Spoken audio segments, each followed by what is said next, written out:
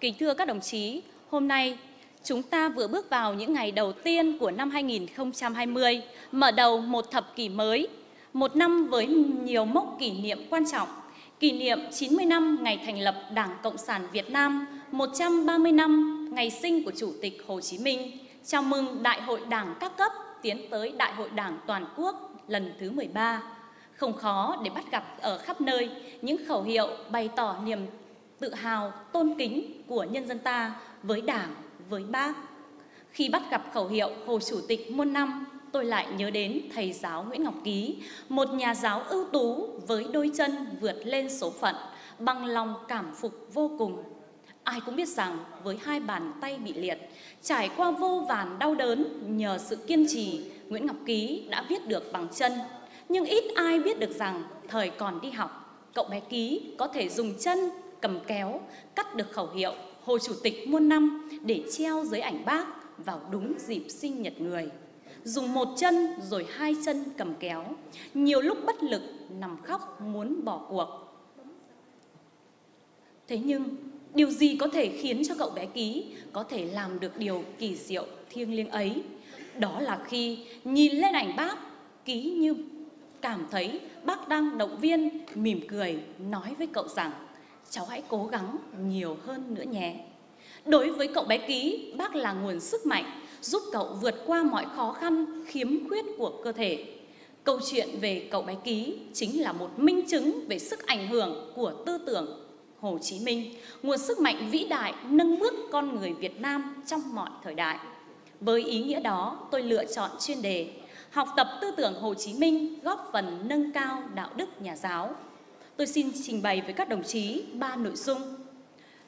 Nội dung cơ bản của tư tưởng Hồ Chí Minh về đạo đức nhà giáo. Nội dung thứ hai, kết quả học tập tư tưởng Hồ Chí Minh góp phần nâng cao đạo đức nhà giáo của ngành giáo dục tỉnh Phú Thọ. Thứ ba, một số giải pháp cơ bản đẩy mạnh học tập, rèn luyện, nâng cao đạo đức nhà giáo theo tư tưởng Hồ Chí Minh. Với cơ sở nắm vững nội dung chuyên đề, mỗi nhà giáo sẽ có ý thức vận dụng sáng tạo trong thực hiện nhiệm vụ, góp phần làm trong sạch vững mạnh ngành giáo dục. Kính thưa các đồng chí, trong bồi dưỡng thế hệ trẻ, vai trò của người thầy rất quan trọng. Thầy không chỉ dạy chữ mà còn dạy người, không chỉ khơi nguồn sáng tạo mà còn là tấm gương mẫu mực cho học trò noi theo. Theo Hồ Chí Minh, nhân cách con người bao gồm cả đức và tài, trong đó đức là gốc, tài là quan trọng. Người khẳng định Đạo đức cách mạng không phải trên trời xa xuống, nó do đấu tranh, rèn luyện, củng cố, phát triển, cũng như ngọc càng mài càng sáng, vàng càng luyện càng trong. Vậy đạo đức là gì?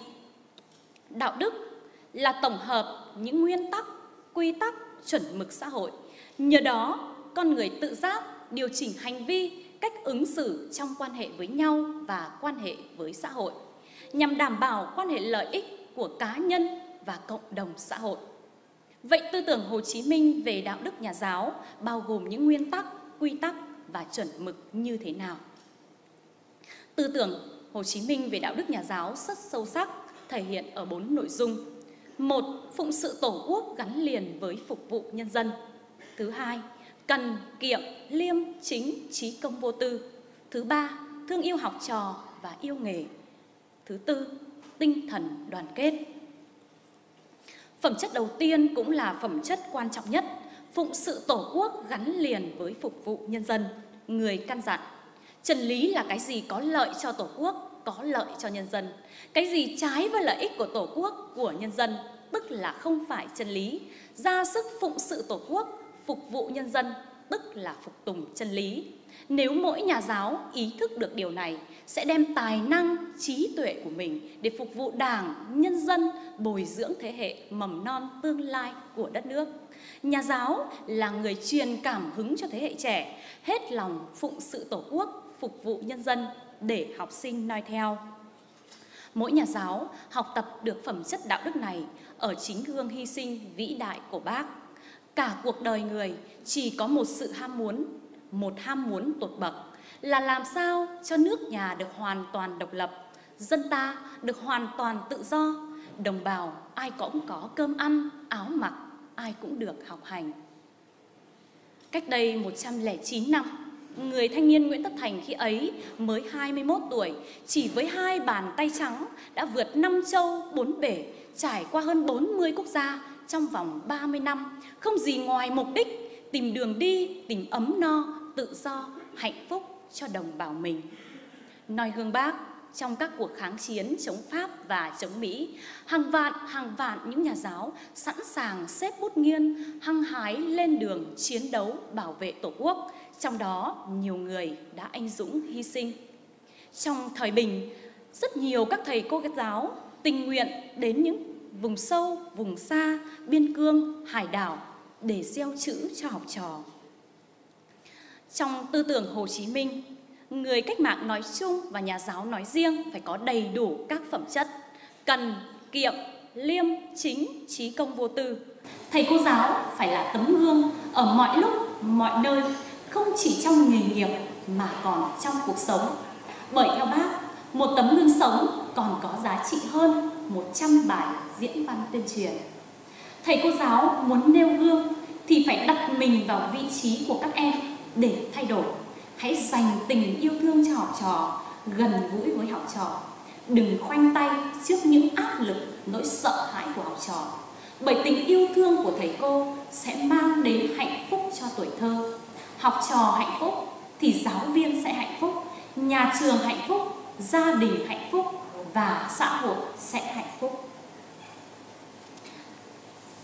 Giải pháp thứ tư, cần xác định rõ vai trò của người thầy trong thời đại công nghiệp 4.0. Cuộc cách mạng công nghiệp 4.0 đang làm thay đổi sâu sắc quá trình phát triển của nhiều quốc gia trên thế giới. Vai trò của người thầy cũng có nhiều thay đổi. Nhiều người lo ngại rằng robot, internet, trí tuệ nhân tạo có thể thay thế người thầy. Tôi xin khẳng định với các đồng chí, robot, internet, trí tuệ nhân tạo có thể thay thế người thầy trong truyền thụ kiến thức. Nhưng thứ mà công nghệ và máy móc không thể nào thay thế được đó là vai trò của người thầy trong việc truyền cảm hứng và lan tỏa những giá trị tốt đẹp về con người về cuộc sống đến học trò. Hay nói cách khác thầy cô là người truyền cảm hứng định hướng nhân cách và ở trong bất cứ thời đại nào vai trò đó càng cấp thiết hơn bao giờ hết và trong thời đại mới thầy cô chính là những người tạo nên sự thay đổi của xã hội. Giải pháp thứ năm, cần tăng cường kiểm tra, giám sát, tổng kết, đánh giá, rút kinh nghiệm.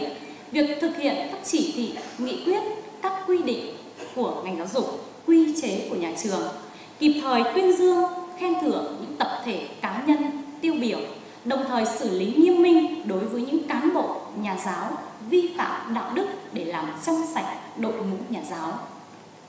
Kính thưa các đồng chí, sinh thời, cố Thủ tướng Phạm Văn Đồng đã từng nói, nghề dạy học là nghề cao quý nhất trong những nghề cao quý. Nhà văn Nga Don Quixote cũng có câu nói nổi tiếng, dưới ánh hào quang của ánh sáng mặt trời, không có nghề nào cao quý bằng nghề dạy học. Chính vì vậy, mỗi nhà giáo cần thực hiện tốt các giải pháp trên để xứng đáng với sự tôn vinh của xã hội. Kính thưa các đồng chí, đã hơn 50 năm kể từ ngày bác về với thế giới người hiền, 50 năm chúng ta thực hiện di trúc của người. Suy ngẫm về những lời căn dặn của bác, chúng ta càng hiểu rõ hơn ý nghĩa sâu sắc và tầm vóc lớn lao của việc học tập và làm theo tư tưởng, đạo đức, phong cách Hồ Chí Minh. Đối với mỗi thầy cô giáo, việc học tập tấm gương đạo đức của bác để nâng cao đạo đức nhà giáo lại càng có ý nghĩa sâu sắc hơn sẽ giúp cho mỗi nhà giáo thêm yêu người, yêu nghề, có động lực to lớn để tiếp tục công việc cao quý nhất trong những nghề cao quý, góp phần vào sự nghiệp đổi mới căn bản toàn diện giáo dục và đào tạo. Cao quý nào bằng nghề dạy học, vinh quang chi hơn nghiệp chồng người. Tôi mong muốn qua hội thi này, mỗi đồng chí báo cáo viên sẽ tiếp tục tuyên truyền, lan tỏa những nét đẹp trong đạo đức nhà giáo để mọi người dân có nhận thức sâu sắc hơn về vai trò, vị trí của người thầy trong sự nghiệp chồng người, đóng góp to lớn vào công cuộc xây dựng và phát triển đất nước ta giàu đẹp, phồn vinh như bác Hồ kính yêu hằng mong đợi. Tôi tin tưởng rằng nếu mỗi cán bộ nhà giáo tích cực học tập, vận dụng sáng tạo tư tưởng Hồ Chí Minh thì mỗi nhà giáo sẽ trở thành người thầy giáo tốt, thầy giáo xứng đáng là thầy giáo, là người vẻ vang nhất, dù tên tuổi không được đăng trên báo, không được thưởng huân chương, song những người thầy giáo tốt là những anh hùng vô danh. Đây là điều rất vẻ vang. Cuối cùng, tôi xin mượn những câu thơ của nhà thơ Tố Hữu để bày tỏ lòng biết ơn, kính trọng đối với bác. Nhớ đôi dép cũ nặng công ơn, yêu bác lòng ta trong sáng hơn, xin nguyện cùng người vươn tới mãi, vững như muôn ngọn giải trường sơn. Việc học tập và làm theo tư tưởng, đạo đức, phong cách Hồ Chí Minh là mệnh lệnh từ trong trái tim. Chúng ta hãy cùng chung tay xây dựng môi trường giáo dục an toàn, thân thiện, bình đẳng và hạnh phúc. Phần báo cáo của tôi xin kết thúc ở đây. Một lần nữa xin kính chúc các đồng chí sức khỏe, hạnh phúc. Xin trân trọng cảm ơn các đồng chí đã chú ý lắng nghe. Xin trân trọng cảm ơn.